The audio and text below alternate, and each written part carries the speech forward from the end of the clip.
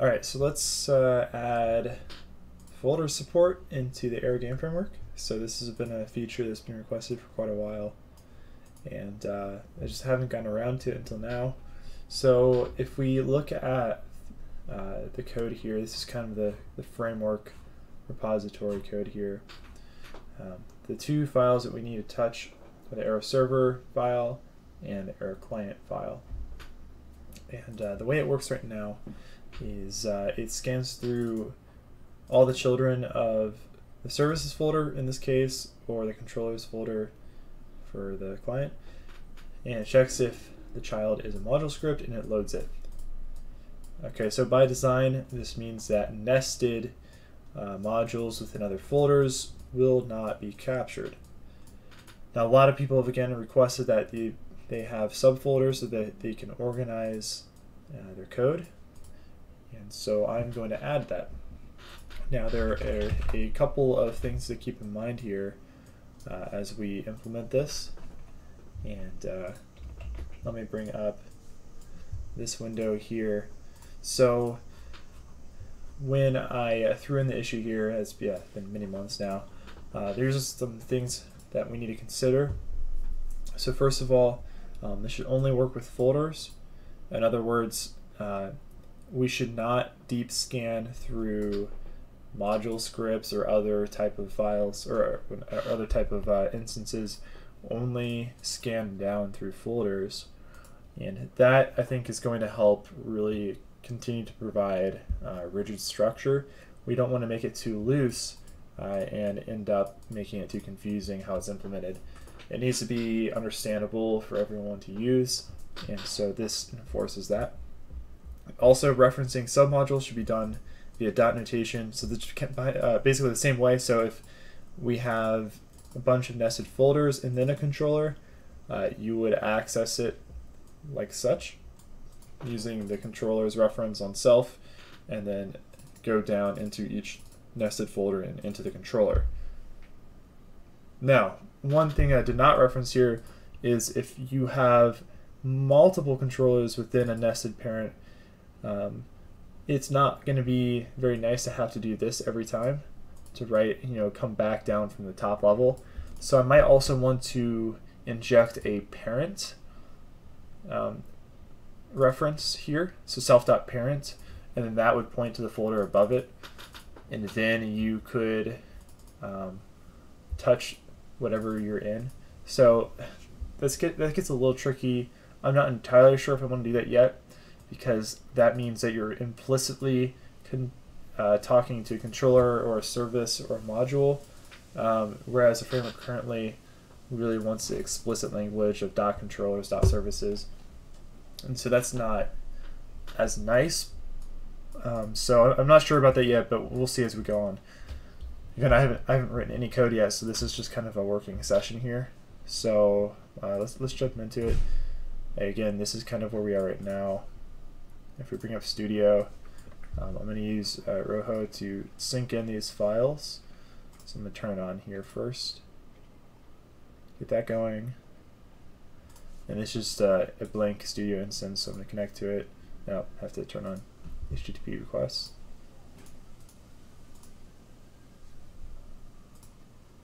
Okay, so it's connected, and uh, let's just verify our files are coming in.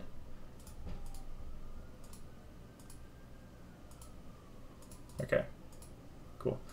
So again, the files we're going to be really touching here are this one and this one. So those are our two primary files. Uh, again, we're not going to touch it here since we're doing this in Visual Studio Code, uh, but we're going to use Studio to test to make sure our changes are working. So again, if uh, we look at our code here though, so let's say we have controllers here, we want to be able to have nested folders here like such. And then uh, the ability to have a module in here. So that's the kind of end goal, and that this module will then be able to still be part of the framework. And uh, yeah. So we're going to have to change this primarily right here, loading services. We're going to start here on the server side services, and we'll work away from there. Once we get that working, we can expand that to controllers and then to the modules as well. So um, again, right away, this is just scanning through one thing. So if we change this code, we could also check make see if there's a folder. It's just complaining to me that uh, there's there's nothing here, so don't worry about that. Uh, just in terms of coding practices, this is no longer necessarily a module, so we're just going to change that to you know child. Okay, so if it's a module script, we load it as the module. If it's a folder, we want to continue scanning down. And so this means that we need some sort of recursive process. And so really what we want to do is encapsulate this in a function. Okay, so I'm gonna write a local function here.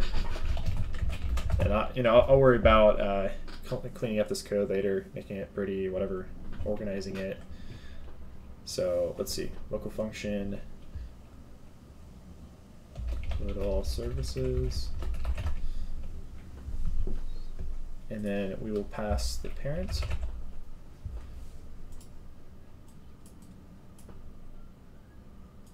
And actually, we're going to put this back to normal and just uh, leave it down here as a reference. Again, I, I, would never recommend checking things in like this to your repository because you know repository already has history, so I'll, I'll remove that once I'm done. So uh, here, scanning through the child, of not the services folder, but the parent we pass to it.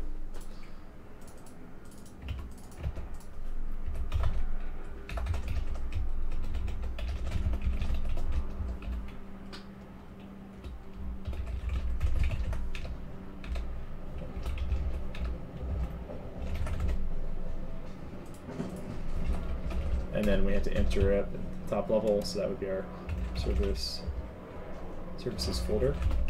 Okay, so that will give us our recursion uh, deep into the folders. Uh, there's no depth limit, which is fine. Uh, there really doesn't need to be. So, uh, you know, don't create an infinite number of nested children, obviously. The hierarchy itself will limit that, so we don't have to worry about that again. Uh, so again, it will only dive deeper into folder instances, nothing else, and any module script it finds within this folder it will load. Uh, now the one problem we still have here is that it is not uh, referencing the parent that it's in. So that means a nested folder or a nested module script would still appear to be top level when you access it, uh, and that's not what we want.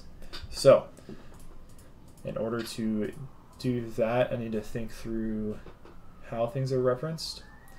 So we'll see from the load service, um, what we have here is we are creating a folder for each service, we are loading the module, and then right here, this is important. So when we uh, set the services, what we're doing is pretty much loading it right away um, at, into the name of the module itself. Uh, and so what that means is if we want nested modules here, uh, then what we're going to have to do is uh, change this piece right here so that we are continually chaining folders down. Now, the rest of this should be fine. I don't think we need to do anything else.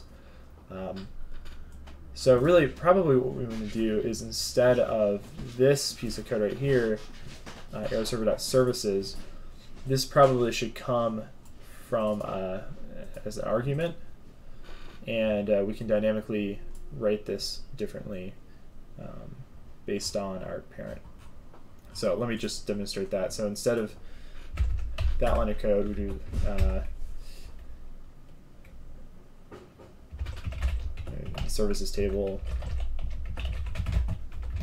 something like that, and then we would pass in that, like so. And uh, down and here we want to have the same parameter and then this one would be aeroserver.services. And then when we call it again, well, what we want to do is actually create a new table under services with the name of that folder. So maybe something like this, and then services table child.name equals table, and then pass the table in. There we go. And so what that's going to allow us to do is uh, create a, like a, a chain of tables by name of the folder. Um, so in, again, in order to demonstrate that, if we had our nested folders here, test, and then maybe ABC, and then a module script called module, All right, and let's call it, uh, I don't know, QWERTY.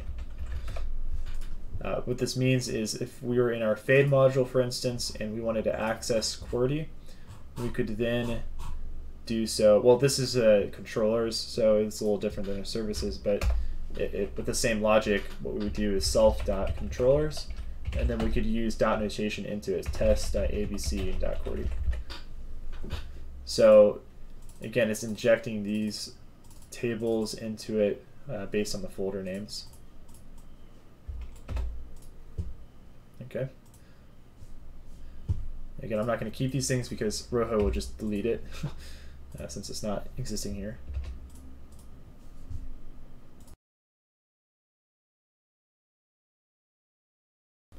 Okay, so that should do the services, I think. Now, again, there's the one other aspect that I was talking about in terms of whether or not you should be able to reference uh, the uh, parent. I, I feel like actually I want to leave that out. And uh, if, if I did want to add it, it would be pretty simple. It'd be pretty straightforward uh, it, because we're injecting things here, right? So for instance, we are injecting a client table if that's not there. Um, otherwise, things are through the, the meta table here. But we could also inject uh, like a parent. So we do service.parent equals services table. Um, but again, I, I, I, hesitate toward injecting new things, um, especially something as commonly named as parents, uh, considering there's probably existing code out there that's using that um, within their services or modules or whatever. I don't want to override that information. So yeah, I, I think for now I want to leave that out, and uh, through some testing, maybe we'll we can see if that's uh, something that we want to add in or not. Or maybe there's a better solution to it overall. I don't know. So, what we should do is test this a little bit. So what I'm going to do is create some service modules here. So under server storage modules, oh no, we went under services. These are the two existing ones here. So go here. here, is what we're looking for. And uh, let's create a folder called test. Make another folder called ABC. And then create a service under here called testservice.lua.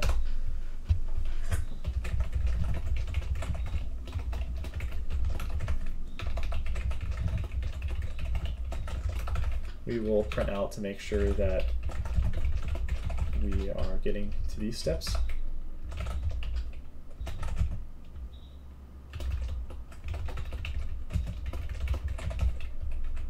Course I need to set this up properly.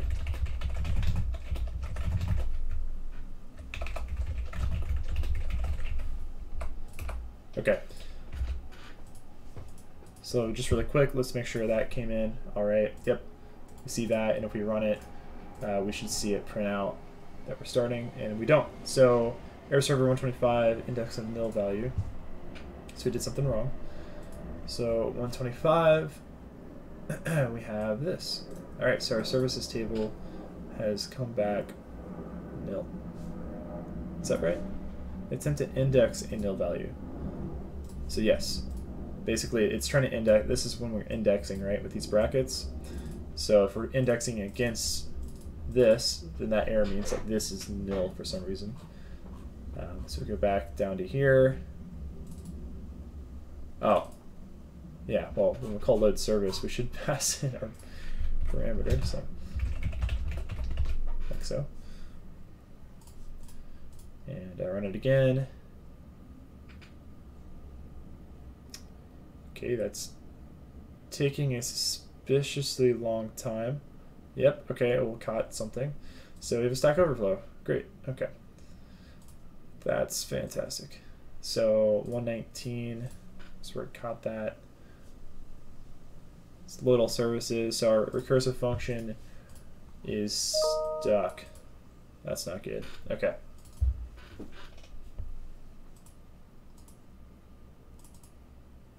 Oh, well, yeah, that's dumb. So what I did right here is we're loading all services and we're cursing through the same parent again. that is a rookie mistake right there. So that should be child right there. All right. a lot of errors on this one. All right, 149. Table expected got nil. Bad argument number one. 149. Service.client.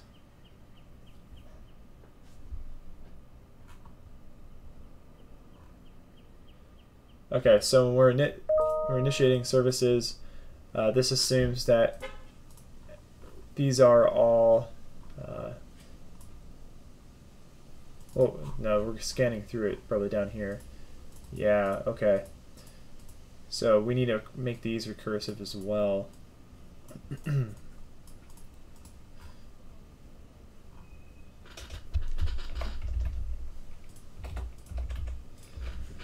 this is why you test often. You don't want to write all your code and then find out everything's broken and have to fix it all. So again, I kind of figured this would end up being a little more involved than I thought it was originally. Um, it is, but we'll get there. So, all services.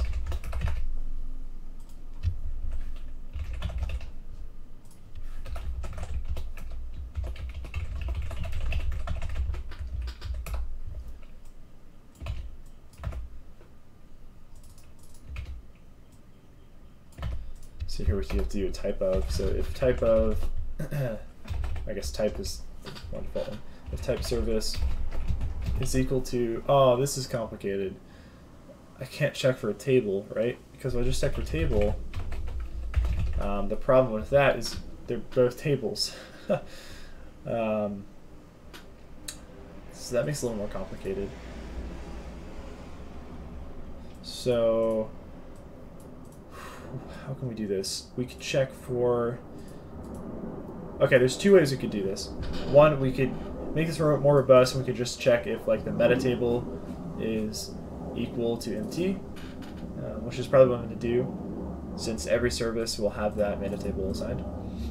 Um, otherwise, what we could do is add another temporary table to collect all of the services and just scan through that. Um, so we can assume all these are going to be tables. So perhaps instead, if get meta table service is equal to empty, then init, else we know it's a nested table, and so we want to call that service. Okay. Now this is a little dangerous code um, because we're assuming some things. Again, right now we're assuming that the type is always a table. And uh, again, this is why I like typed languages more than anything because you could do something like this and have an explicit understanding that it is a table because arrays would have an explicit type. Uh, in this case, Lua, it's not. So just because of how we've programmed this, I know that it's going to be a table, but uh, that's not always nice. So in a typed language, this would be fine. Lua, it's a little dangerous, but again, we're going to roll with it for now. because um, we know everything is going to be a table. so again, if we get the meta table of the table here, and it matches the meta table that we're assigning all the services, then we know it is a service, so we can initiate it.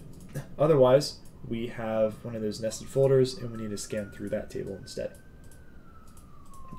okay, so that should work, and I'm to try it again, and it should uh, fail here on the start sequence.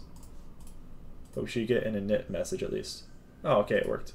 Um, and scary enough, it did not fail here. And that's probably because it's not trying to access anything directly. It's just checking if it has a start function. Yep, okay. So we're going to copy this code because it's essentially the exact same thing for starting.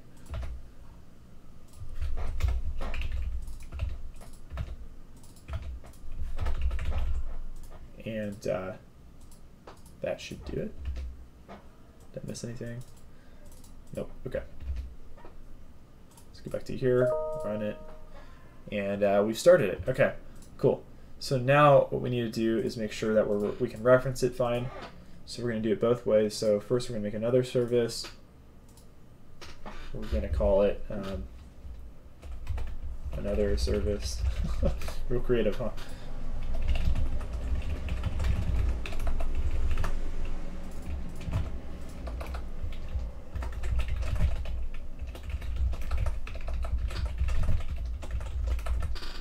And uh, just to make sure we can access it, we're going to just add a favorite number. So favorite number is self dot services, and now we can do dot notation through the folders. So test abc dot test service dot favorite number, and then let's print out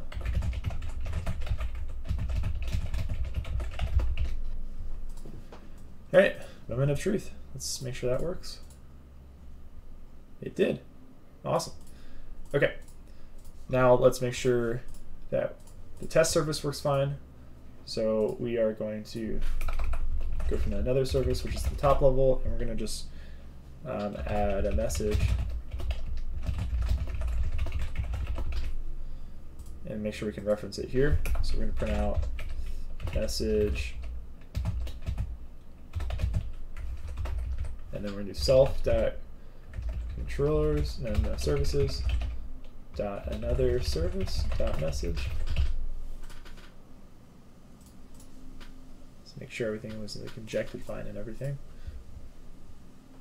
Message. Yep, it worked. Okay, so that's good. Now again, we're coming at this crossroads, so let's imagine we have another service here. Um, looks like Z service, whatever.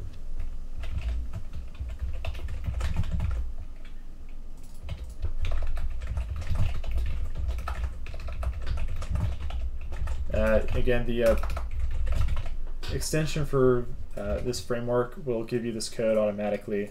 I had to write here because I'm just writing within the core framework code to test. So I'm going to delete all this. Really, I should be, I can't believe I'm doing this on the master branch. This should really be on a different branch. But uh, here we are. So starting knitting. So the question is, if we're in XYZ service and we want to access test service, currently what we have to do is go all the way through from the top. So if we want to reference it, for instance, it'd be self.services.test.abc.test service. So even though it is within the same folder, we have to start from the top and work down. Now what I've been trying to contemplate is, should I be able to, instead of doing that, why can I not just do self.parent? that test service. Now, the reason I feel hesitant about this again is twofold. First of all, uh, injecting anything into the framework is dangerous at this point in the life cycle because uh, it's possible people have defined this within their modules or controllers or whatever. And so I don't want the framework overwriting this or other people overwriting this. Implicit uh, injections of things like this are just kind of risky all the time. So uh, I feel hesitant because of that, but also I feel hesitant uh, because it's also implicit as to where this parent lives. So from this code, we know explicitly that this is a service because we're accessing the services part here and we're going all the way down to our actual module. So I know it's a service. However, here, self.parent test service, I mean, I know because I named it test service, but if I didn't name it that, I made up something else, it's uh, hard to tell from this code, you know, what what is that? Uh, is it a service? Is it a module? What is it? Um, it's hard to tell. Again, this is kind of a kind of a, a, annoying part of having a dynamic language here, is that we just don't have that type definition stuff here um, to understand the context. So I yeah I feel hesitant for the, for those reasons. Um, however, I, I still feel like I would like to have something like this, a shortcut. Um, so I, I don't want it to be named parent, but parent makes the most sense. Now we could do kind of an underscore sort of thing. So uh, if you're familiar with using this framework a lot, you'll know that there are some flags that you can set per module that are double underscore uh, sort of things. And you'll see those in the modules and stuff. I'm trying to find an example here. Yeah, right here.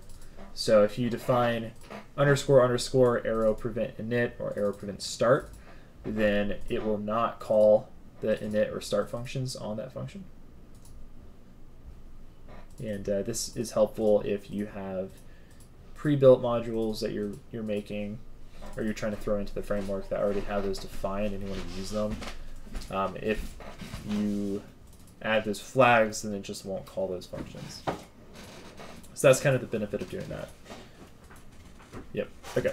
So we could do something like that where we add an optional flag, not, not, not necessarily an optional flag, but um, kind of a, a, hidden value like that. So it would be uh, something like, yeah, for example, here if you see this, so self dot under underscore underscore parent a test service. It's not pretty, um, but it would do the trick. Again, I just want to avoid using uppercase parent like that since uh, that's probably going to be used elsewhere in the existing code. I don't want to override that information. Okay. So let's just play around with it then, see it works.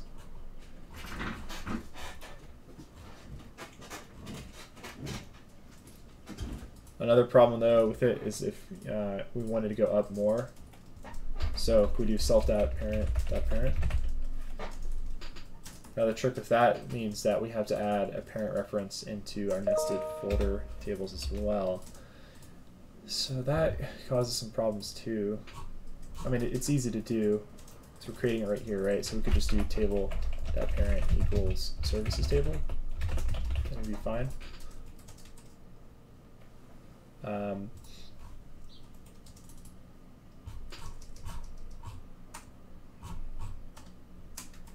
So we could do that. But really, yeah, we need to come up with a naming convention for this. It's going to work. Again, I don't want to use capital P parent. But maybe just a single underscore. That's what we're using for other internal things, such as uh, events, client events, remote folder.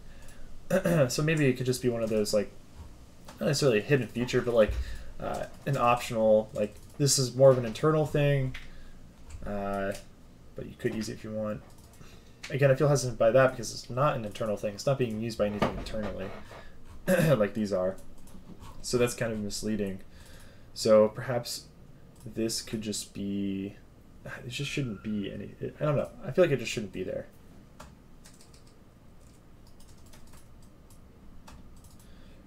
Or, you know, let's just. We'll, we'll keep it like that for now.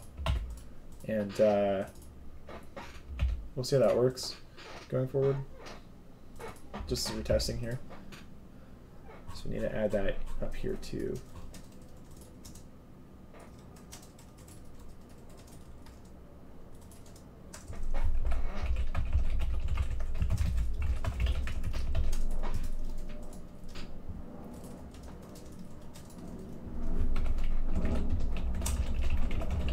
Make sure that we can reference it properly.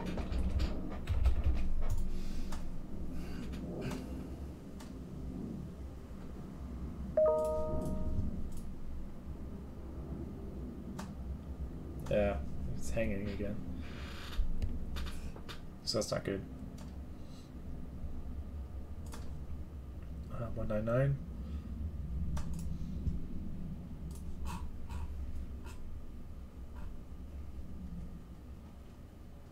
Huh.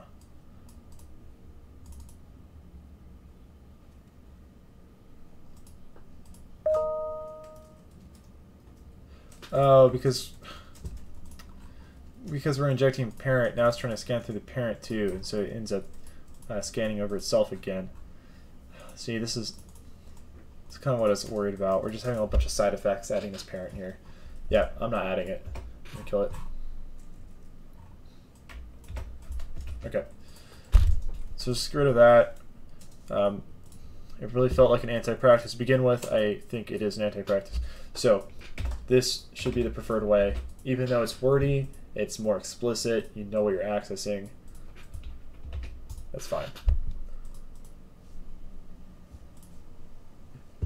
If anyone has a suggestion for how to do that better, let me know. Yep, okay, so we can reference it just fine through that. So that continues to be fine. Okay, so that's services. Now should be relatively simple kind of copy and paste to apply that to uh, modules and also for the client stuff as well. So for the modules, these are lazy loaded. Oh, so that might be a little tricky, right? So you index it, and right now it is just assuming you've indexed a module script. I, I assume. Yep.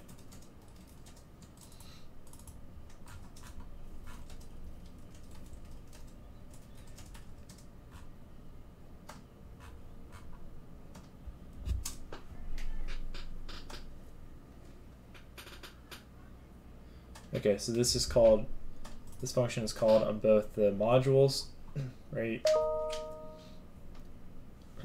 right here, and also on shared, right here. So if we think about this right now, the, the way this is working, we're, we're throwing a meta table on it. So if we index uh, this table which I believe is just blank. Did we give it? Yeah, I mean, it's the modules and shared folder, which are initiated as, as nothing. So if we start there, then what we have is um, just a really simple way to kind of fake lazy loading. I mean, it's lazy loaded in, in terms of uh, not requiring the module and thus using that memory. The, the object, the module script itself obviously still exists there but we don't actually load it until we first access it the first time. So this index function does it captures that.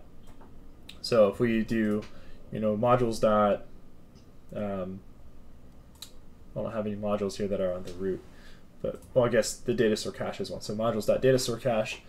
Um, if I have not accessed that ever before, it will run this code. So it will require the module. Again, it just assumes that what you call it is a module, and it does that because it in that case it should error if it wasn't a module. We want that to error. So we require it, we check to make sure that that module is a table, so it's proper for this. And if so, we call this wrap module function, which just does some meta table setup for it. And then we raw set that to uh, the table so that next time we access it, it doesn't hit this anymore. It just goes right to the module itself. And raw set's not really necessary here because we don't have a new index meta method, but whatever, it's there. So how do we transform this then to allow submodules? One way to do it is where we're calling lazy load setup. We could just scan through uh, the folder there and call lazy load setup on every folder. And in fact, I think that would be the simplest way. And uh, well, no, because it's going to go directly into the table then.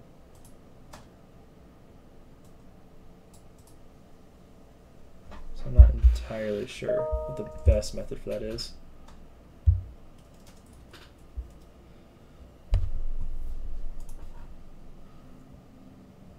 Hmm.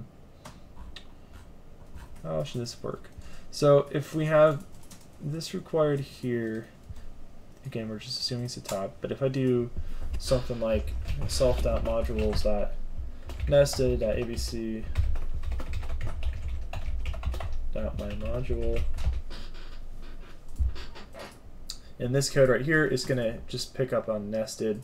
First of all, it's going to try to resolve that. And uh, if it's just a folder, well, it's just going to error out here. And so it's, it's going to fail right away.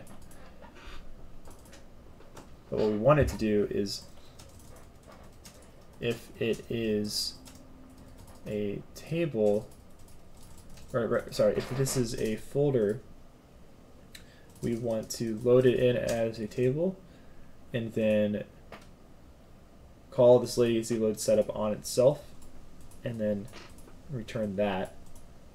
And then, then you'd have a table returned instead.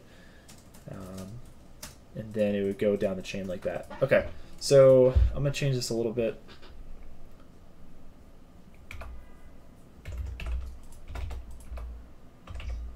So instead of this, we need to check that child.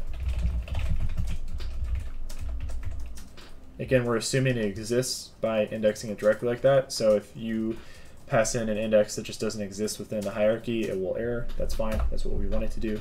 That's why we're not using find first child because that will uh, silently fail in that in that instance. We want a failure if it doesn't exist. So get the child if it is a table. No, no, no. It's we're not requiring it yet. So if child is a module script, then load it in. Else if child is a folder, then that's when we want to dive into there deeper.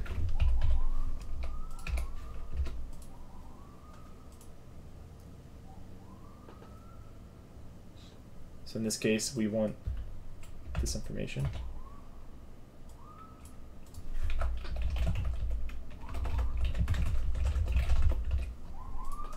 So require it as a child or as a module. Uh, wrap it with the meta methods and stuff, and then return it. If it is a folder though, what we want to do is create a new table reference it, and we're going to end up returning that table.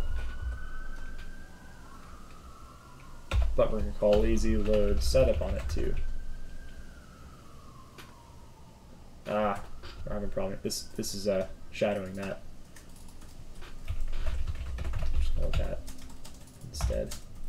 See lazy load setup, and our table is nested table, and our folder is child. And we still want to add this, we'll do it first. Like so. So, now if we work through this, self.modules will access this top level modules, and that's done because of the meta table already set, so it, it hits that. When you hit not dot nested, what it does is it checks the, the child first, so it, it tries to get the child name nested from the modules folder.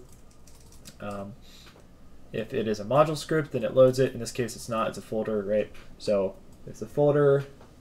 We create a table to kind of reference it. Um, we add it into our kind of virtual hierarchy here, and then we call lazy load setup on that child within that table. So now, if we access nested and we try to act, we try to index that, uh, we'll run the same code again so we'll get a child from folder, which in this case was the child we passed to it, um, which is nested. And we can keep on going down and down to the module script. Okay, so let's test this out. Um, an easy way to do this is to do what we did before with the services. So we're going to create some nested stuff. Now don't be uh, confused by this too, though. Um, the, while these are folders within the uh, Visual Studio Code environment, they get resolved into just normal scripts because it's like it has these init files here, so that it's a little misleading from this view. So we're going to follow what I wrote in the comment at the top on 103. So net tested, no, no, not tested, nested, and then ABC, and then my module.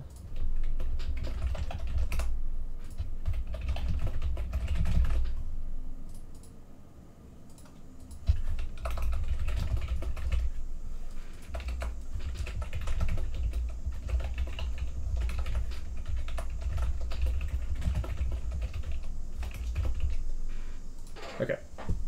So by default, just make sure that it loaded it in here. Um, it should not run, it should not say started or whatever, because it is a lazy loaded module. But if we go to one of our services and try to access it, it should load. So if we go back to XYZ service, for instance, in our start method, we could say local my module equals self.modules dot test dot nested dot abc dot my module. And if that works, then my module should be loaded. And when that happens, uh, because it's uh, loaded into the framework, it should call this function right here, start, and print that out. So run it, and it worked. Started my module. Okay. So that's cool. That worked.